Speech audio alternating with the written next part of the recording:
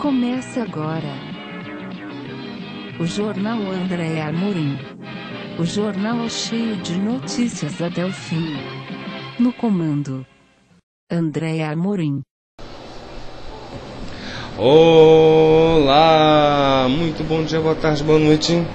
Brasil! Tudo bem com vocês? Tudo bem? A partir de agora, Jornal André Morim, jornal cheio de notícias até o fim, edição 2170 de hoje, domingo 30 de dezembro de 2012. Vamos às manchetes. Basta pedir a nota fiscal e fazer as contas. IPTU vai sair de graça. Na revista Já é, salve Bruna Marquezine. Na página 6 da seção Rio de Janeiro, ferve o palco da virada. Você vai saber a respeito de Copacabana. Estas e outras notícias de capa de dia você vai saber junto com algumas notícias do site Ovo Chico com a piadinha do dia. Especial concursos, recorte do selo que está na primeira página de O Dia, com mais 9,90, troque pelo quarto livro da série Clube do Livro Especial Concursos. Confira na edição de O Dia o regulamento e os postos de troca e mais. Veja na edição de O Dia todos os benefícios que o, que o FGTS tem para oferecer. E o Jornal André Moinho começa agora. Estas e outras notícias você vai saber logo mais no Jornal André Amorim, que já está no ar para você. Compre o Jornal Dia, como o Rio gosta de ler. Os preços do Jornal Dia são de segunda a sábado, vinte centavos. Isso mesmo, um real e vinte centavos. No domingo, o jornal Dia custa o dobro, quarenta centavos. Isso mesmo, e quarenta centavos. E o site de O Dia Online, www.udia.com.br. Repetindo, www.udia.com.br.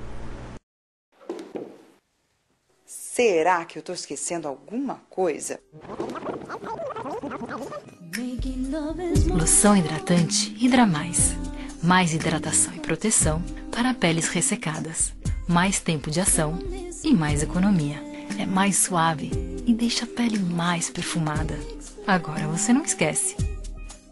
Aliás, o meu corpo nunca esquece. Hidra Mais. Uma experiência inesquecível.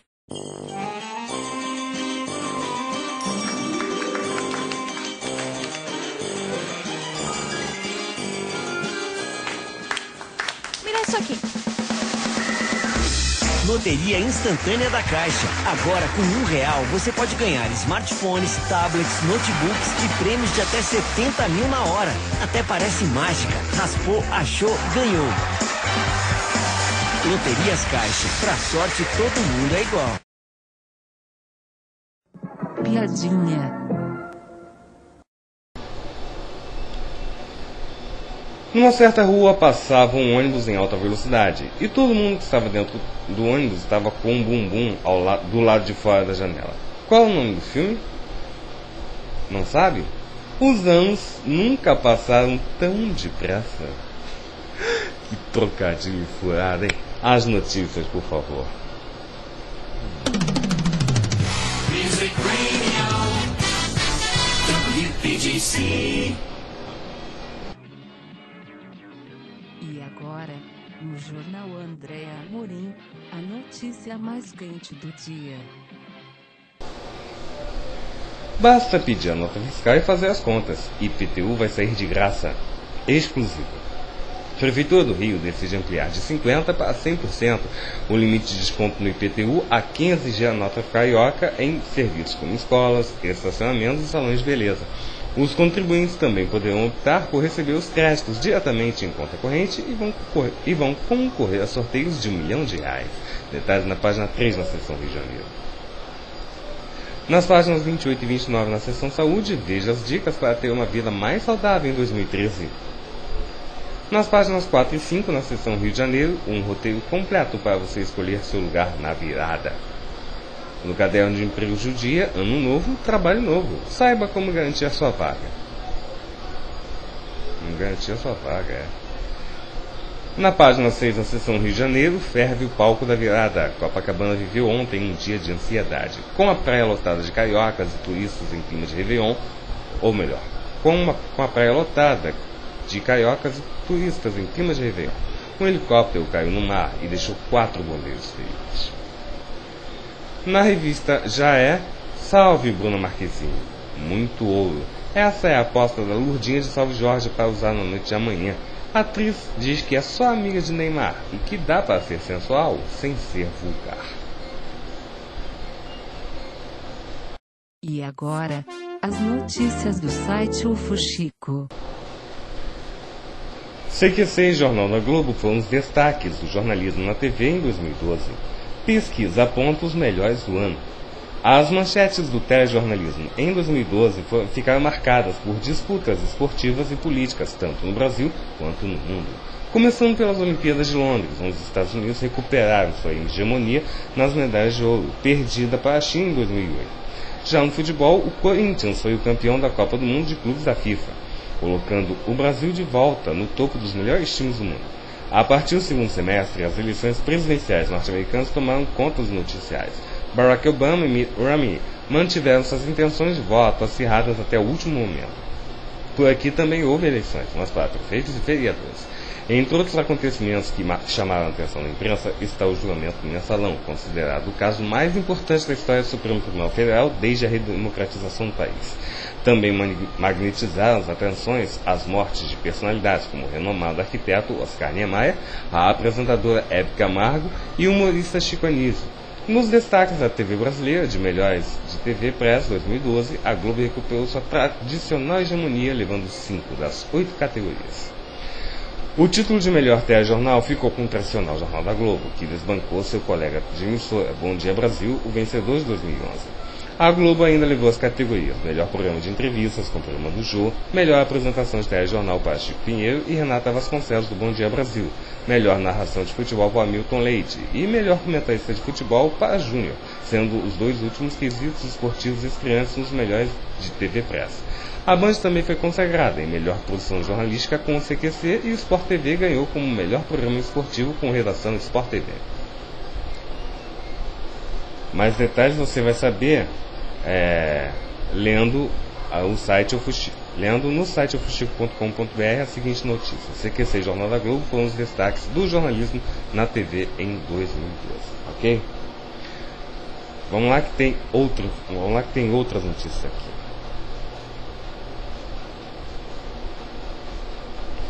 Dominguinhos continua sedado e respirando com a ajuda de aparelhos. O cantor está internado no Recife e, trata de uma e se trata de uma infecção respiratória e arritmia cardíaca. Um novo boletim médico sobre o estado de saúde de Dominguinhos foi divulgado no início da tarde de, on de ontem, aliás, sábado, dia 29. De acordo com os médicos, o músico continua internado no CTI do Hospital Santa Joana, no Recife, para tratamento de uma infecção respiratória e arritmia cardíaca. Segundo o boletim, o estado de saúde de Dominguinhos evolui, mas ainda sob efeito de sedação. O cantor segue respirando com ajuda de aparelhos e, por enquanto, não há condições para a retirada. Os medicamentos antibióticos também estão mantidos, assim como marca-passo para tratamento da arritmia. Dominguinhos está internado no Recife desde o último dia 17 e não há previsão de alta. Glória Pérez admite erro em Salve Jorge. Alta diz que comeu mosca ao colocar uma informação jurídica equivocada. Glória Pérez foi ao seu Twitter na manhã de sábado, de ontem, né? Sábado, dia 29, para assumir um erro que cometeu ao escrever uma cena da novela Salve Jorge, da Globo. Na trama, o advogado Arudo, Otaviano Costa, está suspeitando que Morena, Nana Costa, instalou ou permitiu ser instalada uma câmera escondida em seu escritório. Por este motivo, ele avisa o Estênio, Alexandre Nero, que vai chamar a moça para depor. O advogado criminalista, por sua vez, avisa que Moreno está no exterior e Haroldo diz na novela que vai pedir um depoimento por precatório. Alguns advogados entraram em contato com a autora e Glória Pérez admitiu o erro de informação em sua rede social. Os advogados com razão. Moreno não vai depor por precatória entre estados, é por rogatória entre países. Comi mosca. Entenda como funciona. De acordo com o Código de Processo Civil, o depoimento pessoal é prestado no juízo em que corre a ação, ou seja, no caso da novela, é no Brasil. Entretanto, quando a parte exige fora dos limites de Estado, morando atualmente na novela, né, mora na Turquia, e forem elevados os custos de deslocamento, ela poderá prestar seu depoimento por meio de carta rogatória. Muito bem, muito bem, muito bem. Este é o seu jornal André Mourinho, o jornal que é cheio de notícias até o fim. Katy Perry e John Mayer jantam em restaurante de Beverly Hills. O casal já brigou e reatou várias vezes nos últimos meses. Katy Perry e John Mayer foram clicados quando chegavam para jantar no restaurante Massuíça, é, na quinta-feira, dia 27, em Beverly Hills, Califórnia. Os músicos caminharam juntinhos do carro até a porta do estabelecimento. A cantora de 28 anos estava bem agasalhada e de gorrinho para enfrentar as baixas temperaturas. John parece sentir menos frio e usou apenas uma jaqueta de veludo.